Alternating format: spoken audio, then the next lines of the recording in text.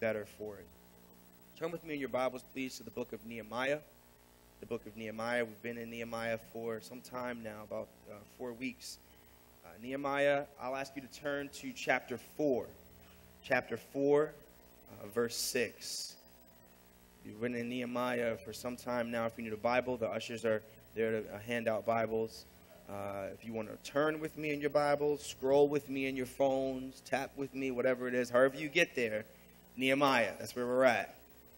Nehemiah, right? Nehemiah chapter 4, verse 6. When you have it, uh, say, My mind's made up. Wow, you got there real quick. Congrats to you guys. That's great. Uh, Nehemiah 4, verse 6. So we built the wall and the wall was joined together to half its height. For the people had a mind to work. For the people had a mind to work. The power of a made up mind. The power of a made up mind. Dear God, I thank you so much for this time. I thank you for your people. I thank you for this word. I thank you for who you are, Father, for the strength that you uh, give to us to make it through day after day after day, Father, for the grace that you've given us when we fall, that you lift us up, for the mercy that you've extended to us, Father. I thank you for who you are in our lives. I thank you, Lord, for the stories that are represented here of your grace, the stories that are represented here of your love, the stories that are represented here of your persistent faithfulness in our lives. I pray, Father, that as I speak, you would be seen, you would be heard, you would be felt, do what only you can do in the lives of your people through this message, through this word. I pray that it would have the desired effect that you have for it in the lives of your people. We thank you. We praise you. We give you glory. And all of God's people said, Amen, amen, and amen. Today is week four of our series on Nehemiah entitled The Burden to Build. The Burden to Build, Nehemiah, a series on, on, on Nehemiah. And so, what we see in, in week one, week two, week three, just to give us a little bit of a recap, is uh, the nation of Israel, due to uh, some disobedience and some really, really bad advice, is now split into two kingdoms the northern kingdom of Israel and the southern kingdom of Judah. And the southern kingdom of Judah is taken into captivity uh, and, and, oppressed by another nation called Babylon. And this nation, Babylon, is then uh, years later taken into captivity and oppressed by a, another larger world nation called Persia. And so what we see here is Israel was once a, a, thriving nation, but due to sin, they were split in two, and they were taken into captivity. And then the nation that oppressed them was taken into captivity because sin will take you further than you want to go and keep you longer than you want to stay. Amen? Amen. And so, so what we see here is, is that they were dealing with some things, and now they're under Persian rule.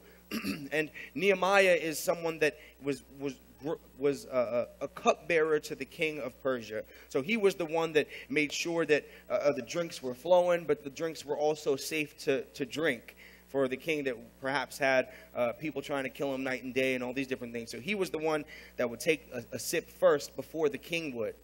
And, but we see what, what took place in, in Nehemiah's life was he's checking with his, his, his brothers and sisters and people and family that are back because the Persian king God, how many of you know that there's no one too great that God can't turn their heart? Right? And so this king of, of Persia is the one that God uses to, to, to uh, make what he wants to happen come to pass.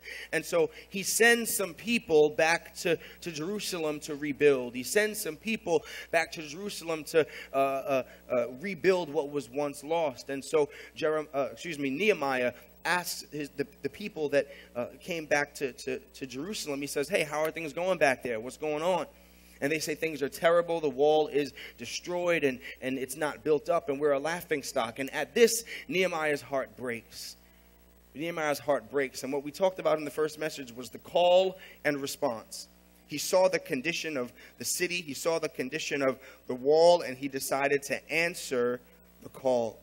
The, the following week, we talked about uh, helping hands and how it was God that, that, that showed Nehemiah favor in the sight of the king because Nehemiah needed the king's permission to move forward, needed the king's signature to move forward, needed the king's approval to go forward and to build. And the helping hands of God were the ones that opened the door for Nehemiah to, to, to go and build.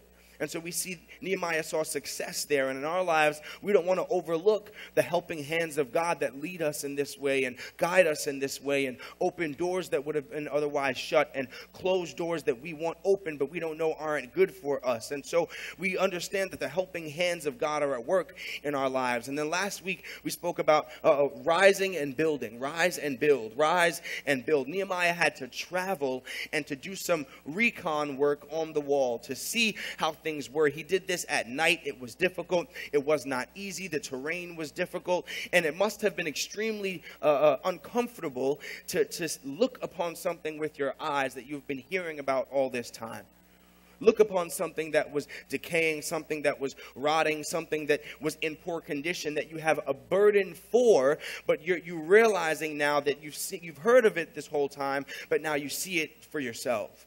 And so he had to face this uncomfortable time and face this uncomfortable reality, but he had to rise and build. Through difficulty, he had to rise and build. And then he had to speak with people, with key leaders in the city, with important individuals to get them to want to do the same. And the text says they were able to then rise and build. And that brings us to where we are today in Nehemiah uh, uh chapter 4 uh, verse 6. But before we get to chapter 4, I want to talk about chapter 3.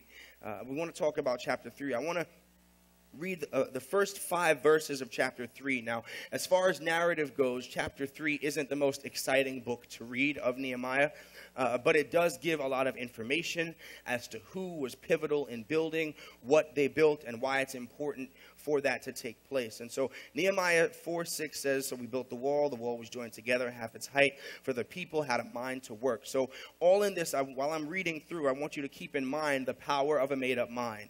The power of a made up mind. The power of a made up mind. Now, this is Nehemiah chapter 3, verses 1 through 5. Right? It says this Then Eliashib, the high priest, rose up with his brothers, the priests, and they built the sheep gate they consecrated it and they set its doors. They consecrated it as far as the Tower of the Hundred and as far as the Tower of Hananel. And next to him, the men of Jericho built. And next to them, the Zakur, the son of Imri, built. The sons of Hassenaah built the fish gate. They laid its beams, set its doors, its bolts, and its bars. And next to them, Meremoth, the son of Uriah, son of Hakkoz, repaired. And then next to them, Meshullam, the son of Berechiah, the son of Mesh, Mesh, repaired. Let's just call him Mesh, right? Son of Mesh, repaired. And next to him, Zadok, the son of Baana, repaired. And next to them, the Tekoites repaired. But their nobles would not stoop to serve their Lord. Now, if you read throughout the text, it, it, it does this. It says, This person repaired here, this person repaired here, from here to here, this was repaired by this person, from here to here, this was repaired by this people, from this gate to this gate, from this wall to this wall, from this gate to this gate, all throughout the text. That's, that's pretty much the summary of chapter 3. And I believe that chapter 3 is in here to show us the importance and the, the, the power of what God's people can accomplish when we work together. What God's people can accomplish when we work together. There is such an importance in unity. There is such an importance in us working together, not just to accomplish our purpose, not just to accomplish our goal, but to accomplish what the Lord wants to accomplish in our lives. And so to see, to, to, to accomplish something together, we need what? A common vision. We need a common goal. We need something to center ourselves around. And remember, before Nehemiah told anyone else what was happening, he said it to himself. And he said, We're going to arise and we're going to build. He looked at the rubble he looked at the ruin. He looked at what they were up against, and he said, This is not how it's always going to be. We will arise and we will build. And then, after he strategized, after he prayed and he planned, he had an important meeting with the leaders of Jerusalem. They were in exile for some time. They were living, uh, uh, they were, and, and, they were sent back to Jerusalem to build, and they were uh, uh living with, under terrible conditions for some time because they had grown accustomed to the way things were. They did not have a renewed mind. They did didn't have a made up mind. And so Nehemiah comes and says, How are you living this way? There's a new way to live. We can rise and we can build if you would only see it. We can rise and we would build if you would only have the strength to partner with me. We can rise and we can build. We can get this done. And so this is chapter three is what this looks like rising and building. This person built this, this person built this, this person built this. When you build, sometimes it's, it's, it, it, it, it can be exciting, but it's hard work. It can be exciting, but it's difficult. And chapter 3 is kind of like that when you're reading through it because it, it, it, gives you more of the detail and less of the, the exciting narrative of what's taking place. And so we see that even in how the, the book is, is, is laid out. Sometimes building, it's the same thing over and over again. It's consistency over and over again. It's jumping from this to this over and over again. And so what we see here, though, what's very important, what I want us to understand is the who. There are different types of people involved in building. There are different types of people involved in building. There are high priests and there are priests. There are goldsmiths and there are perfumers.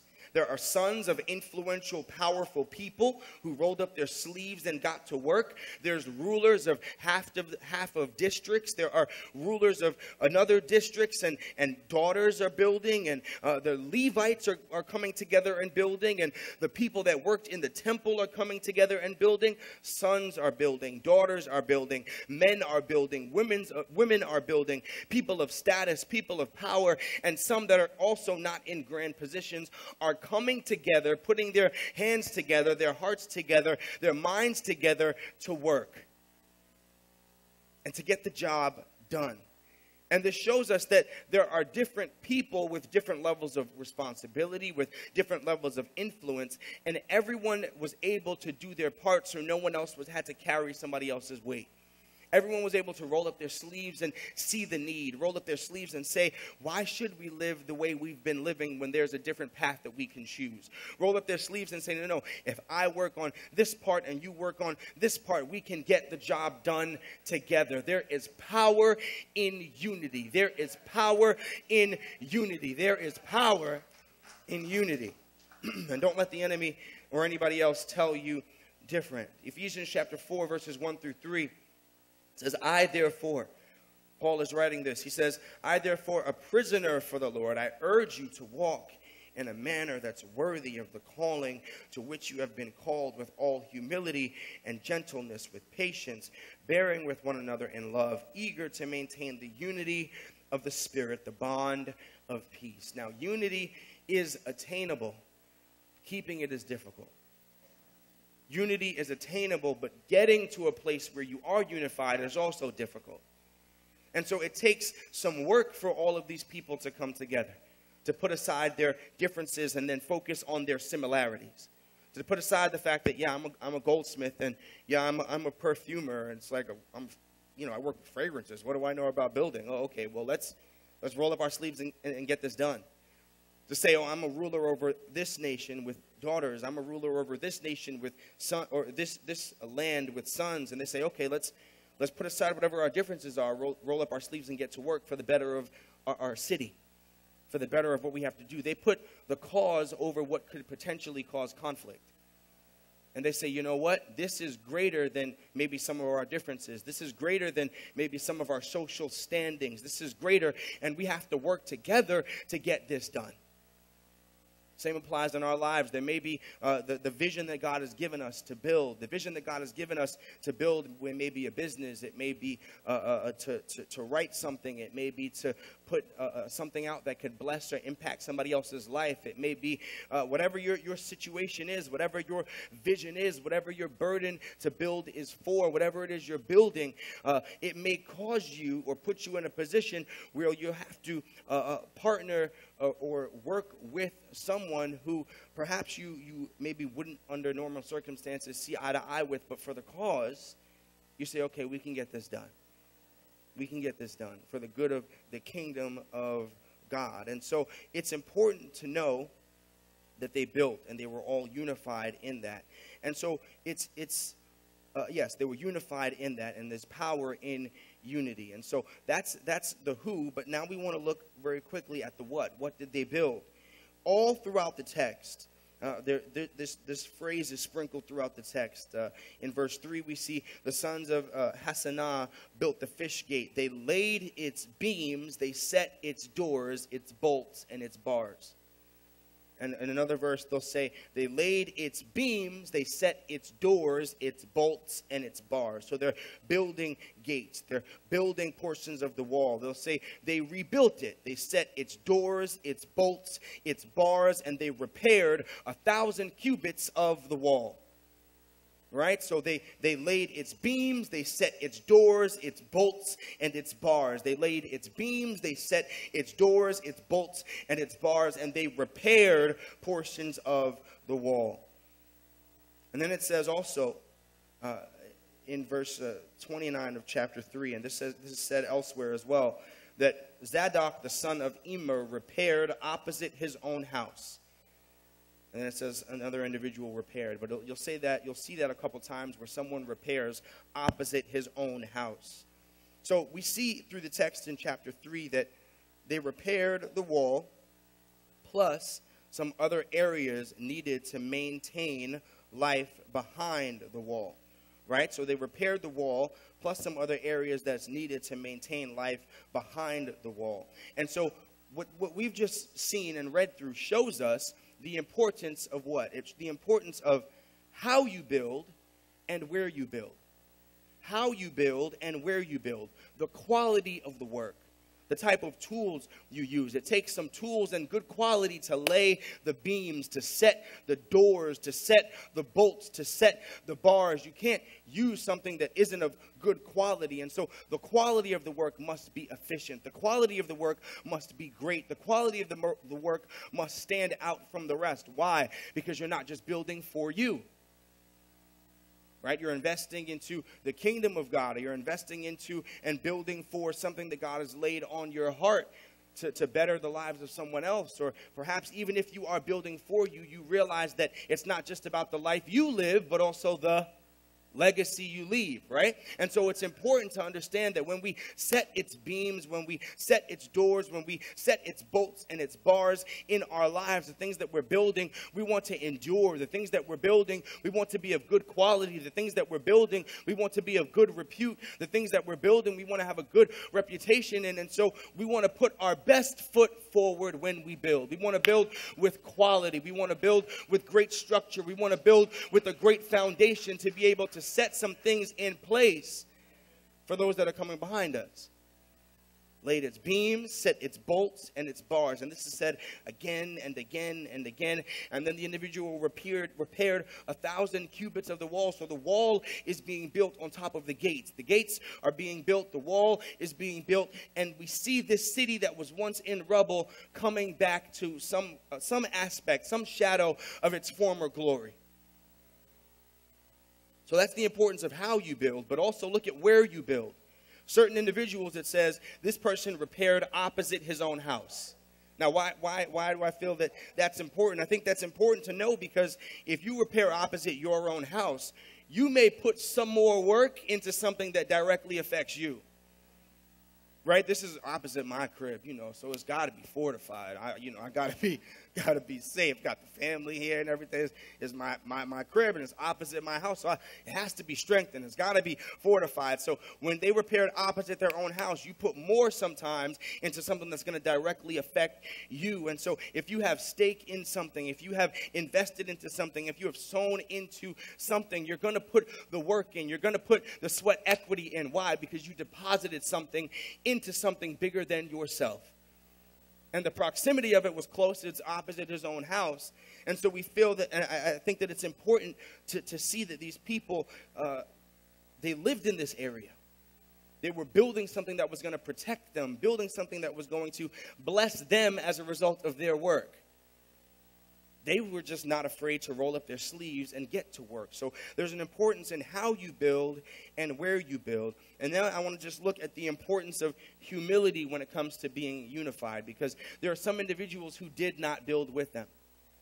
Did not build with them. And so what we see there is in verse 5 uh, uh, of chapter 3 next to them the tekoites repaired but their nobles would not stoop to serve their lord. Now nehemiah is there in a position of authority. He's the, the, the lord in this sense not saying god but the lord as far as someone who has come in and, and is now the governor over this place and making sure that this job this work gets done. And the tekoites they repaired but the nobles the individuals over these people are saying i'm not going to stoop down and serve someone else even though they're repairing something that may bless me and my people, I'm not going to stoop down and, and submit to whatever this, this, this trivial vision is. And for various reasons, what you have to understand when you're working uh, on a vision and when you're trying to push something forward is, once again, not everyone will build with you for various reasons. The nobles, they were too proud and they thought it was perhaps beneath them to get involved. And uh, Philippians chapter 2 talks about humility. It says, Do nothing from selfish ambition or conceit, but in humility count others more significant than yourselves. Let each of you look not only to his own interests, but also in the interests of others. When's the last time you engaged in helping someone for someone else's benefit and not so you could get the praise or the glory for it? When's the last time you looked at the interests of others and said, maybe I can help them for them and not wait for something to come back in, in return years down the line or sometime down the line? Verse 5 says, Have this mind among yourselves, which is yours in Christ Jesus who, though he was in the form of God, did not count equality with God something to be grasped or to be clung onto, but he emptied himself by taking on the form of a servant, being born in the likeness of men. And so God became flesh and dwelt among his creation. The Creator became flesh and dwelt among his creation. And if Jesus Christ could have that type of humility, the beautiful thing about Paul's writing is he says, Have this mind among yourselves. It's already yours if you're in Christ. It's already yours if you're in Christ. You have the ability to walk in humility, but are you exercising that right and that strength?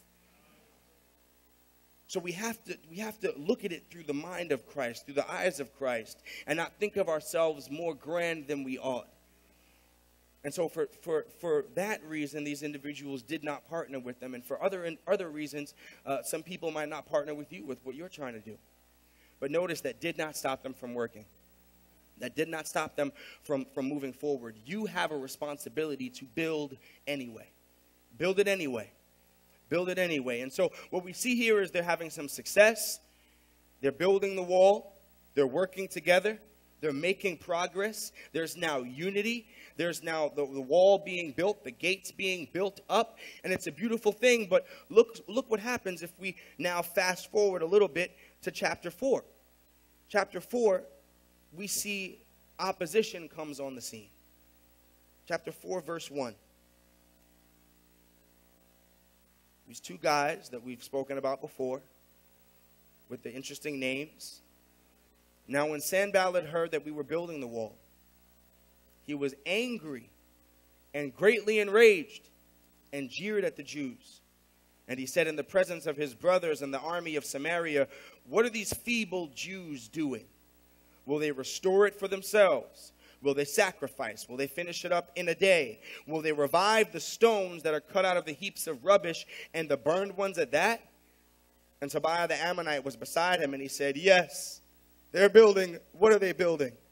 If a fox goes up on it, he will break down their stone wall. Apparently, that was like a burn. Like, Hear, O God. Yeah, that, that's, that's what they say. And Nehemiah's response is, Hear, O God, for we are despised. Turn back their taunt on their own heads. Give them up to be plundered in a land where they are captives. And so we see in the, the first three verses that the enemy comes in, and this word obviously gets back to Nehemiah about what was said. Because they're saying it, and Nehemiah has the presence of mind to, to write this, so he understands what was said. And he says that when Sanballat, when he heard that we were making progress, when he heard that we were putting our best foot forward, when he heard that the beautiful thing that God was doing in, in our lives was taking place, he was angry. He was angry and greatly enraged, and he jeered at the Jews. He jeered at us. He mocked us, and he says, What is it that they're doing? Are they going to build it up in a day? Will they restore it for themselves? Will they sacrifice? Are they going to revive the stones out of the heaps of rubbish, the burned ones at that? And then Tobiah's like, haha, yes. This isn't strong at all. If a fox goes up on it, the whole wall is going to break. And it's interesting because the minute we're, we're moving forward and we see some progress, that's when the onslaught comes. That's when the opposition comes. It's when the gossip comes, the slander comes, the words that cut and that pierce come. And whether it's the enemy speaking lies into our lives, or whether he's using someone else to speak lies or speak something that, that uh, uh, uh, depresses or, or, or weighs us down, it, it, happens from time to time. He says, Will they restore it for themselves? Sometimes you say, You really think you're going to get that done? Will they restore it for themselves? You really think that's going to happen for you? Really? Nah. Will they finish up in a day? You really think you have the endurance to get this thing done? You really think you're going to meet it at this specific time? Will they revive the stones out of rubbish? Look at what they have to work with. Look at what, what, what they have to work with. Look at what the odds that are stacked up against them. There's no, there's no way you can get this done. Take a look at what you're working with. You have rubbish to, to turn into revival. You have ruin to turn into restoration. And, and, and the, the stones that you're working with are burnt at that. There's no way you can get this done. See, a tactic of the enemy is he'll often use a half truth to lock us up. But a half truth, a portion of that, that half truth, is still a lie. So he'll say, Oh, look at what you have to work with. There's no way you can get that done. Look at what you have to work with. Sure, it's not impressive. Sure, it's small, but there's no way you can get that done. Do you know, do you know who I serve? Do you know who is with me on this journey as I'm moving forward? Do you know who has called me to this task? Yeah, sure, I, I have some limited resources, but I have the God, I serve the God who owns the cattle on a thousand hills. I serve the God who is for me and not against me. I serve the God who says, if you pray and ask, it shall be given unto you. I serve the God. And so the beautiful thing about that is sometimes we get tied up by the half truth. We get tied up by the lie. And we say, oh, oh, yeah, you know, look at what I have to work with. Look at what I have to overcome. I'm trying to, I'm trying to create new family patterns for my, my kids and for those that are coming behind me. But look at what I have to overcome. I have, uh, my, my father wasn't present and, and my mother did this and all of these different things uh, uh, took place in my life. And I'm trying to, to undo what was done in the lives of those that are coming behind me. And the enemy's looking at you saying, oh, you think you can overcome that? Nah, look at what you have to work with. And he's trying to, to keep you stuck, to keep you stagnant, to have you give up. What does the text say? The thief comes to what? Steal, kill, and destroy. John 10 10. And the amazing thing is, it doesn't often look that way at first. But we see here this gossip. We see here this slander. We see here them laughing at the enemy and trying to shrink them down to size. But look at what Nehemiah's response is when the enemy comes against them. Nehemiah says, Hear, O God, for we are despised. Turn back their own heads and give them up to be plundered in a land where they are captives. Do not cover their guilt, and let not their sin be blotted out from your sight, for they have provoked you to anger in the presence of the builders. That's a heavy prayer. It's a heavy prayer. That's a, a David Psalm type prayer. Like, God, smite them and send them back. It's like, whoa, whoa, whoa. But you have to think about it because the enemy does not want you to build. The enemy does not like what God has called you to build. The enemy does not like the vision that you carry, doesn't like the thing that you feel the Lord has, has called you to give birth to. And he doesn't want to see you build for any kingdom but his. He doesn't want to see you build in your marriage. He doesn't want to see you build in your relationship with your kids. He doesn't want to see you build in your relationships at your job. He doesn't want you to build in your relationship with Christ. And so he's going on the offensive to tear you down to steal your joy, to steal your zeal, to steal your energy, to steal your passion, to steal your vision, to kill what God has give, given you to birth, and to ultimately destroy the lives of those that were called to be impacted by whatever it is that was laid on your heart. That's what he wants to do. That's what he wants to see take place. And so Nehemiah realizing that the enemy is up to no good, prays a, a dangerous prayer, prays a warfare prayer because he values his vision. he values his vision and he realizes that this is too precious for me to just let them steal. This is too precious for me to just let them come and try and take. My zeal is too precious. I have to, what, what, what's the term we, we say now? I have to what? Protect my peace, right? I have to protect my peace. And so often we let the opinions of others get in our head, get in our ears, take root in our heart, and our peace is gone. Our joy is gone. Our zeal is gone. Our dedication to the mission is gone. But I declare in Jesus' name that we're taking our joy back. We're taking our peace back. We're taking our mind back. We're taking our peace back so that we can build. Because we have to have a mind to work. You have to have a mind to get it done. But people had a mind to work. And, and so many times people come in and they'll say this and they'll say that, or they'll do this and they'll do that, and they'll knock you off course. And before you know it, you've put the vision on the shelf for so long. It's collecting some dust. And God is saying, no, no, let's let's let's revisit this. I haven't called you to lay this down. I've called you to pick it up and to run with it. It's not too late. I'm going to restore those years that the locust is eaten. We can get this thing done in the name of Jesus Christ. We can get this thing done in the name of Jesus Christ. As long as there is breath in your lungs, there is a vision, there is something that God has called you to do, someone that God has called you to impact. We just have to value the vision and not let it go. We have to value the vision and stay committed to what God has called us to do. The power of a made up mind. The power of a made up mind power of a made up mind. So this begs the question how will you respond to opposition? How will you respond when it comes your way? Because it will. Nehemiah, we see, prayed with faith, prayed with confidence, prayed with zeal. Do we do the same? Can we do the same? Can we say, I will lift mine eyes to the hills from where my help comes from? My help comes from the Lord, the maker of heaven and earth, the one that does not slumber, that does not sleep. He is for me and not against me. No weapon that, stands against me is going to, to prosper. And so I know this, and so I can turn to God in my time of need, turn to God in my time of affliction. How do we approach the throne? It's okay to approach the throne of God broken because God is a God that binds up. It's okay to approach the throne of God wounded. You don't have to have it all together, coming to God saying, Look, God, I need some help. The, the, the sacrifices of God are what? Uh, what, he, what he does not despise is what? A broken spirit and a contrite heart and God is near to the brokenhearted. And some of the words that have been spoken over you, some of the words that have been spoken over your vision, some of the words that have been spoken into what God has called you to do have perhaps caused you to be limping, to be wounded, to be brokenhearted. And so uh, perhaps that's even driven you to put up walls and go away from God. But that's the time when you need to draw closer to God because God is close to the brokenhearted and near to those that are crushed and broken in spirit. And so, what we need to do is draw near to God and say, Look, Lord, I want to pray. Even in my brokenness, I can pray in faith. Even though my faith is struggling, Lord, I believe, but help my unbelief. Even though I'm dealing with uh, uh my confidence, Lord, I'm praying knowing that you have the authority. And, God, even though I'm, I'm not really sure, I'm praying praying, God, knowing that you believe that this can get done, Father. And I want to pray with the power of the Holy Spirit as I approach you. So, how do we respond to opposition?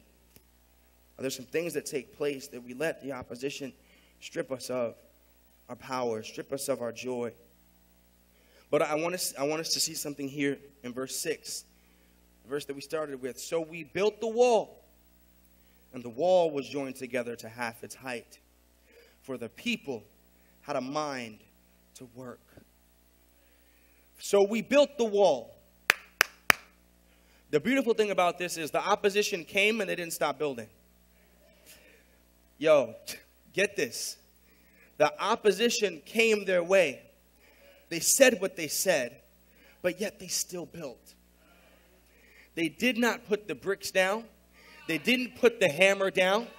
They didn't put the nails down. In spite of what was said, they still built. In spite of what was done, they still built because they had a made up mind to get the job done. They had a resolve to get the job done.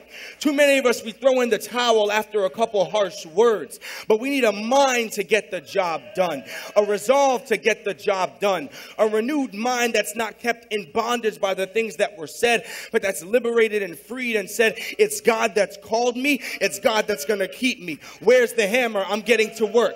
Where's the hammer? I will keep building.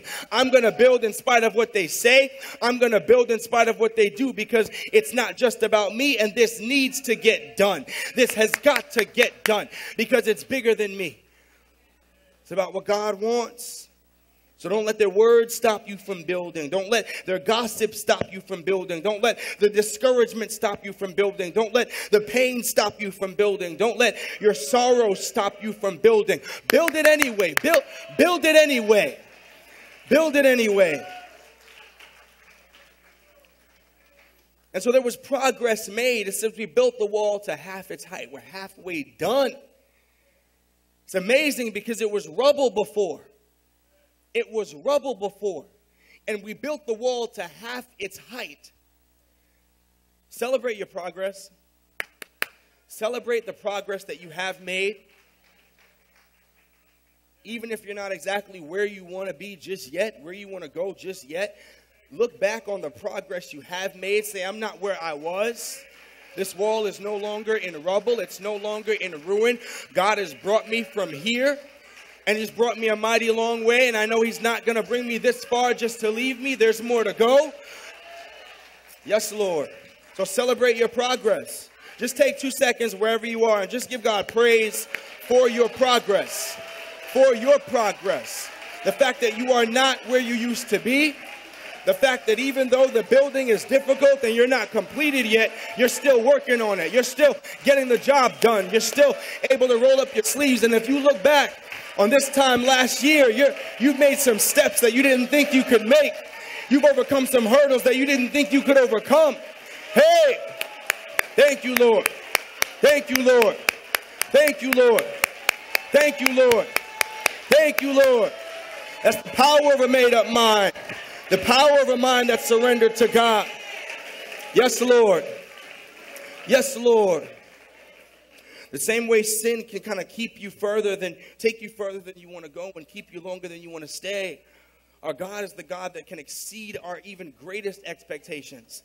Some of us, we, had no, we have no business being in the place we're in now, but God opened the doors, but God kept the doors closed, but God ordered our steps, but God. So I'm thankful for the progress. I'm thankful for the progress. So they, they, they, they built the wall to half its height. And that's a beautiful thing because the people had a mind to work. They had a made up mind, a renewed mind, the mind of Christ, a resolved mind, a one track mind.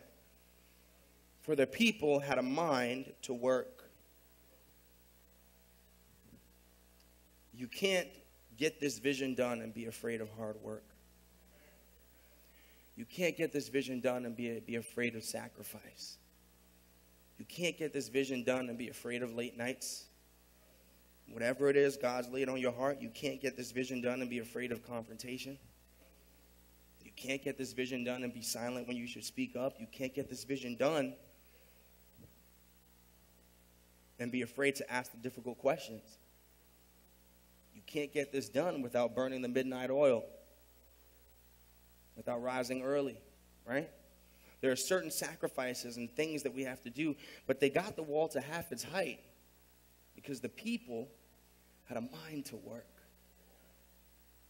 Had a mind to work. It doesn't say you, you don't rest, it doesn't say you don't have a, a time of Sabbath, but you have a mind to work. You say, Look, I, I have a vision that has to be accomplished, there's something that's got to get done and I have a mind to work. I'm not afraid of hard work. I'm not afraid of rolling up my sleeves and getting to work and doing the job and getting it done. So, as I close, my prayer for us, Bethel, is that we would come to know personally through our experience the power of a made up mind. That we would know the power of a made up mind. That we would know the power of a unified people people that link arms from perhaps different social statuses, different uh, uh, uh, backgrounds, different ethnicities, whatever it is, that we link arms and know the power of, of, of unity. That we would know the power of people who keep building no matter what they say. That we would know the power of a people who know that the vision is too great to throw in the towel. That we would know the power of a people who know that the burden is too the burden to build is too great to abandon what God has laid on your heart. That we would know the power of a people who know that Christ is our anchor, Christ is our hope, Christ is our foundation, and in him in him it's in him, it's through him that we have our living, our being, and our identity. That, that, that we would know the power of, of the fact that our God is a, is a mighty fortress our God is our protector. Our God is with us in the trenches. That we would know the, the, the, the, the ability to know that, that in, the, in the midst of our trials, we would know this that God is for us. In the midst of our trials, we would know this. In the midst of our building, we would know this that God is with us. So that's my prayer and that's my focus. That we would that we would know this, saints of God, that we would know it in our own lives, in our own individual spheres of influences, in our homes, in our schools, in our jobs. We would also know it right here in this church. That God would do his work and that we would do our work. That we would work and fight for unity. That we would stop gossip at the root. That we would roll up our sleeves and not be afraid to do the work. Not be afraid of, of, of praying the difficult prayers for this house. Not be afraid of sowing the seed for this house. Not be afraid of, of being the people that God has called us to be and saying the prayer for someone that maybe looks like they're going through something because it's not just the pastor's job to do it. If you have the Spirit of God on the, in, on the inside of you, and if you've been redeemed by the blood of the Lamb, and if God has set you free, your, your prayer has power. There's authority in your prayer.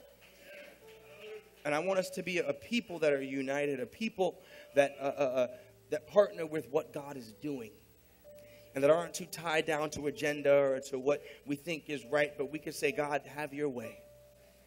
We can take our hands off and say, God, have your way. Let us work and watch you work. And let's work together to get this thing done. And no matter what, come what may, let's stay focused, let's stay resolved because the people have a mind to work and we have to have a made up mind. Amen? Amen. Let's give the Lord some praise. Thank you, Lord. Thank you, Father, for who you are who you've called us to be. You're worthy to be praised. So if you're here and you've heard this message and you don't know Jesus Christ as your Lord and Savior, you don't have a relationship with Him, and you would like to today, you want to uh, come to get to know Jesus uh, uh, for yourself as your own Lord, your own Savior, and perhaps you've been relying on someone else's prayer, on someone else's uh, uh, uh relationship with God. and God is saying, I want you to know me for you. I want you to know me for you. So if, if that's you, if you're here, you know you have not asked the Lord for forgiveness for any of your sins and you're just living however you want to live. And you feel God tugging at your heartstrings today. You feel God uh, uh, saying, hey, come, come to me, draw near to me, and I'll draw near to you. So if that's you, if you don't know Jesus and you want to come to know him today, I'm going to ask you just to be honest. You're not coming to me, you're not coming to the church.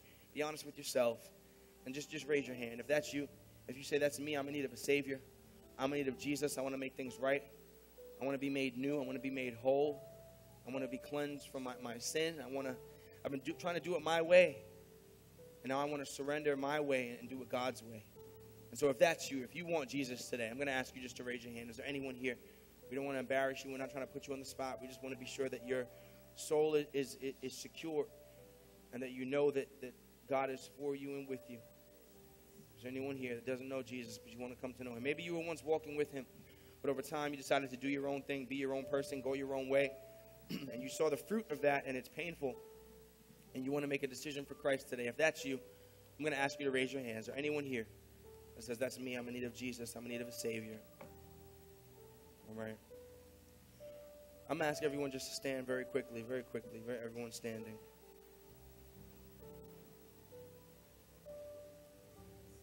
You're here and you're just unsure, perhaps, of where you would go, if the Lord were to call you from here into eternity, tomorrow is not promised for any of us. And uh, if you're unsure of where you would go and you want to be sure, you want prayer, uh, we have people that are, pray, are here, to, willing to, here and willing to pray with you and for you. If you want to be sure of where you'll go when you leave this life, uh, if you're unsure right now, I'm going to ask you to remain standing. And if you are sure, please take your seats. Is there anyone here that just wants prayer? Okay. So, dear God, I thank you for your people. I thank you for your sons. I thank you for your daughters. I thank you for our, uh, the lives that you've called us to live. I thank you for the burden to build. I pray, Father, that as we move forward together as one, that we would fight for unity, Jesus. We would fight for peace. Once we obtain unity, Father, I pray that we would fight to keep it. I come against the enemy that would cause division in this house, that would cause division in our lives outside of this house, that would cause division in our marriages, division in our, with our children, division at our jobs, division. I pray for unity, God, amongst your people. I pray, Father, for a mind that's made up that despite the opposition, Lord, we will continue to have that resolve that you are for us, you are with us.